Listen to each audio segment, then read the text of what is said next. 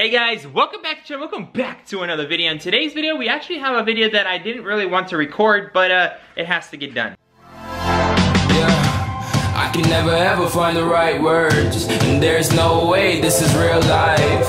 There's no telling you. And before we actually move on with the rest of this video, I have to give a huge special shout out to those of you guys who want to support the And for those of you guys who supported the channel, I'm going to be featured on the YouTube platform. So first off, shout out to Sergio Ellis, shout out to Chris Nealing, Ennis Kaya, Brian Ramos, Joey Arturi, Joshua Transinski, Stephen Holiday, David Nigeen, Augustus Malins, Manny Burrito, and Jonathan Lopez. Jonathan Lopez again? Come on, man. I appreciate you. So anyways, huge shout out to all you guys. Thank you all so much for supporting the channel consistently. For those of you guys, eh, for everyone who spent over $20, you guys' name is going to be featured on the 650i plaque. I know there's going to be a lot of you guys so far, so huge shout out to you guys. If you guys want to be shout out in the next video and featured on YouTube plaque, make sure to check out the merch store down below. Without further ado, let's jump right back into the video. So I think Leon's going to go ahead and tell you guys a little something, something. I didn't actually bring it up on my channel. I think maybe I brought it up once, but nothing like too major. Anywho, what happened to your car? Like, I'm pretty sure you guys already know. If you guys haven't seen Nour's video or one of my videos, I think. I barely mentioned it. Yeah, um, so my park, my car was parked across the street and uh, I was, it was not supposed to be parked there, you know, during that day, but it's whatever. Um, so someone broke the door and couldn't get into that one because it had 10 on it. They decided to go through the passenger side door, so both of them broke. And then it took me a whole month to get the new window. So we're gonna start installing it, try to see how it works. Yeah, so I've never actually installed Windows before. We're doing a whole bunch of new things this week. I mean, springs, uh, now Windows. This is stuff I've never done before. Actually, we're doing a motor swap pretty soon, so you guys will know for what car that is in a little bit. But yeah, someone broke into my brother's car, broke both windows. It's just like, what a shame. Like, why do people have to do this stuff? Um, so anyways, we gotta go ahead, replace both windows. I've never done it before. Let's hope to God it's not too hard. And then we're gonna start work on the 650i, but let's just go ahead and fix my brother's car so he can start driving his car. So the other is just unwrapping uh, the window right now. This is the driver's side one. It actually is tinted. This one's not tinted. Uh, my brother went ahead and tried putting in this window yesterday. He had a really hard time trying to put it in and figure it out. We're gonna go ahead and just try to do the driver's one. If we can figure it out, then we'll go ahead and work on this one, but uh, little by little, guys. It's one of those days that we kind of have to do stuff even though we really shouldn't. It was just so dumb. It was right across the street where my other car, where my parents' car is right now, and it got broken into. He woke up, glass was everywhere. They tried breaking into the driver's side. They couldn't get in, so they broke the, the passenger, and they just left both of them shattered. Thankfully, they didn't damage anything else around the car, but since they actually shattered this side, uh, it looks like they just dropped some tools and they scratched up the whole door, which kind of sucks. I don't know if you guys can see that, um, but you know, it is what it is. We'll get this whole car polished. Um, those scratches are pretty deep, so that's pretty permanent, but it is what it is. We, we, but anywho, let's hope to God we can just get this car perfect today.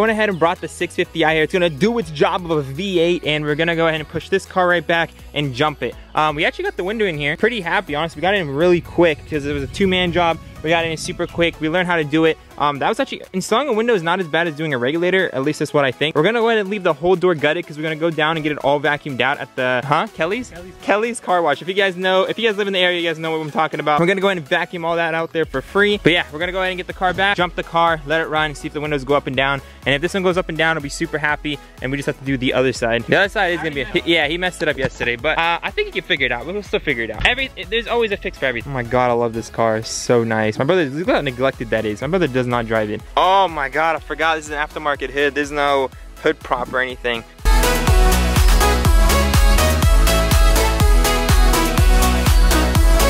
All right, my brother went ahead and pulled out the window switches. We're just gonna go ahead and connect that. And then a moment of truth. About to see if we got this window working. All right, guys, it keeps going right back down. So I'm gonna try to figure out what's going on here. Guys, you have to figure out a way to initialize the window, but it goes up to a point and then it goes back down. I'm pretty sure there's some kind of like coding or something we're gonna have to do. But before we actually get into all that and just waste time and try to figure that out, let's go ahead and try to figure out both at the same time. So let's go ahead and just replace that window.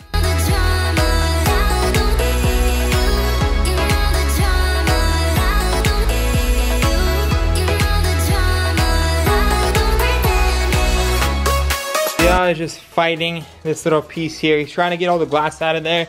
And then uh, I already pretty much took off the original bracket. I had it completely destroyed. Got everything off of that. So it's ready for the new bracket. And then I actually have some glue that I think it'll make it perfect and it'll stick on there perfectly. Meantime, while I'm waiting for my brother to do that, I don't want to just wait around. So I do have a new part, which is one of the halo bulbs I got for the 650i. It's, it's basically an original bulb that's supposed to match this side. So I'm hoping it would, because if it doesn't, I have to order another one for this side. But meantime, let's go ahead and throw this in. So at least both of our halos and both of our turn signals, that all should work. So, uh, oh my God, there's so much glass on the ground. All right, let's go ahead and throw this sucker in. It turns out the bulb that's in here for the halo is actually a separate part. I'm going to take that piece out and just replace that. So worst comes to worst, if these bulbs don't match, I just go ahead and get two matching bulbs from my local parts store and I should be good instead of ordering this whole housing that costs an arm and a leg. I think it was like 50 bucks. So I don't know if you guys can see that bulb is on and you guys can see the halos are also on and uh, halos are also on same color and also the turn signals on. So all that's looking actually they are matching pretty well. I'm super happy about that. Okay cool. So both bulbs are in there. All halos are working. This is in the shade. That's why that that's why this one's a little bit brighter. But i think they're both good. As for the daytime running light it turns out it's, it's a little module. So there's a resistor and a module for that bulb which is kind of insane how much things are needed. But i mean hey i mean i went ahead and ordered the module and then these headlights should both be working fully and we go ahead and tackle other projects on the 650i but obviously today uh, we need to make sure my brother's car is back on the road because we had to put a tarp over this thing for like a month. So we gotta make sure both windows are on here, everything's working, vacuum it out, make sure you can still drive this thing because it's a perfect car. But unfortunately, when you have glass everywhere and two windows are shattered and you can't roll up your window, it's just not practical. All right, guys, it was our mistake, but uh, I think we got a new one on there. Let's go ahead and try to put back in this window.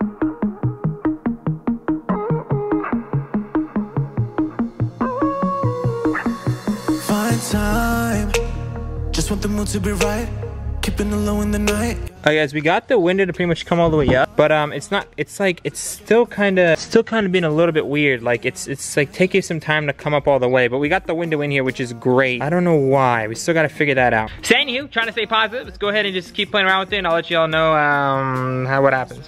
Both pro, uh, both windows, they're able to like roll down and roll up on their own power. So, I mean, not on, like they're able to work. The window regulars work. We got both windows in, which is great. But we need to initialize them and they're not initializing from the car itself, which is kind of weird. So anywho, we're gonna go ahead and clean up real quick and then uh, we're gonna take this down and get all that glass uh, vacuumed out because ah, dude, this is saying this car is a mess. But it looks hella good though. My brother's gonna go ahead and clean up all that. Uh, I just realized something and I was trying to use windshield wipers on my car. I actually put them on the wrong way. So when I was using the windshield wipers, it was shooting out this way. I didn't even know you could put it in backwards. yeah, it was literally shooting out water from the front. I was like, what the hell? It's like when you're trying to piss off somebody in front of you, you're literally shooting out water like that. Anyway, let me go ahead and fix that real quick. Staying until the end. Yeah, I know how to play pretend. Just like that, those are good to go. Okay, we're fixing two cars at once, bro. Go ahead and get all the glass off the ground and go ahead and clean up all these tools. Open up your mind. Uh, uh, oh, oh, and this I know how to win a fight. To win a fight. Cause it's just my habits. After we got everything cleaned up, let's just head down to Kelly's, uh, get the car wash, and vacuum out all that glass, so at least our booties don't get like shanked basically. And then we're gonna go ahead and try to figure out that coding situation. Damn, bro, you got front end sensors. I don't like to brag, but that check know. engine light. Okay, but that's What? Because it hasn't I, been. I miss driving my car. It's been about a month, bro. It's been sitting for a month because of some guy that wanted. He literally broke and took nothing. Yeah, it was for fun, I think. Honestly. Yeah, he literally went down the whole block and just broke everyone's windows. All right, honest to God, I think I know what they stole, bro. we're talking about the adapter, right? Yeah, we're talking about the adapter that goes in right here. I honest to God think they stole I it. I realized I never took it off, right? Yeah. Maybe they saw the adapter. They broke they broke in, they found nothing, and they're like, ooh, adapter. They took that that at least we Imagine. I, I think honest to God, you know? Oh my god. Alright guys, here through Kelly, sneaking through the back, trying to use their vacuums. Shh. This is how you unlock the door. Alright, buddy. Alright, well they just told us that we can't vacuum right now because the vacuums are off, so that kind of sucks, I'm not gonna lie. Honestly guys, we'll probably catch y'all tomorrow morning because uh, we want to wash the car, we want to vacuum the car, we want to put in the sensor, right? And we gotta put together these door panels and hopefully program these windows. So uh, we'll catch y'all tomorrow. Unfortunately, I don't think we can do much today. If we could probably code the windows tonight, we'll let y'all know. But um, till tomorrow, love y'all. See you soon. Good morning, guys. So this is actually day two. We're gonna be heading down right now to get the car vacuumed. So hopefully, you know, we get all that glass out of the car and then put on the door panels and everything. The driver's door started working 100%. So this, I think there's just a passenger needs some time to calibrate and all that stuff. And we are finally here, guys. So we got both vacuums. Let's go ahead and get all this glass out of here. Like, oh my God. So here's a little quick before, guys. We got glass everywhere. We got glass on glass if you guys need some, you know. We got all that crystal. Anywho, um, we got all that good stuff. We're gonna vacuum all that out. Hopefully it comes out pretty easy, but um, it's gonna be a little bit, it's gonna take us a little bit of time.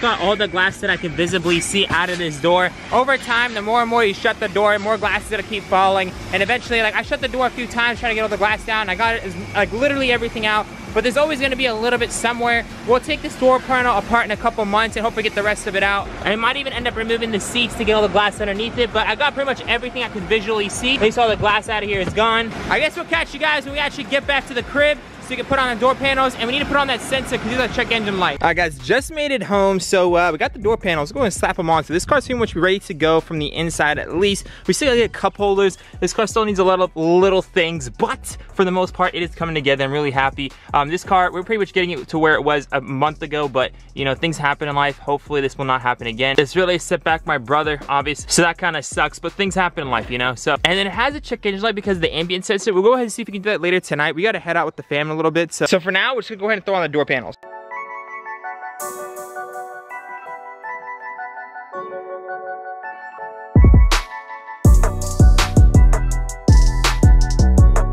And this door panel is done, guys. My brother's just working on his, and then we're good to go. We are back. It's a little bit later in the day. I think it's been about five hours since you guys saw us put the doors together. Benny, all the doors are together?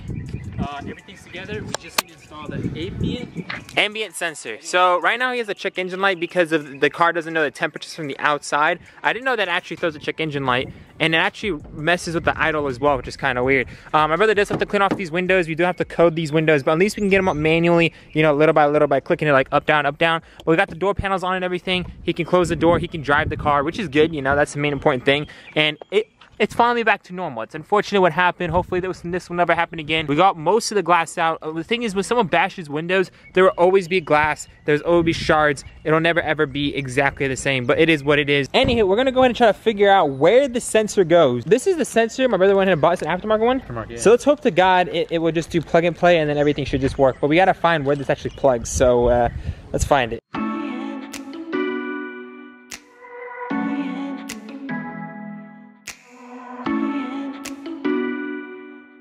Yeah, so the in the video said to replace the ambient sensor, you have to remove the bumper, then go underneath this. I just went ahead and removed the grill. Went underneath here, found the ambient sensor cable. It's completely missing, and that's where it rests right there. So we're gonna go and plug it in, and I'm gonna try to do this all without having to remove the bumper. That would be a big help, and then hopefully that should fix my brother's check engine light.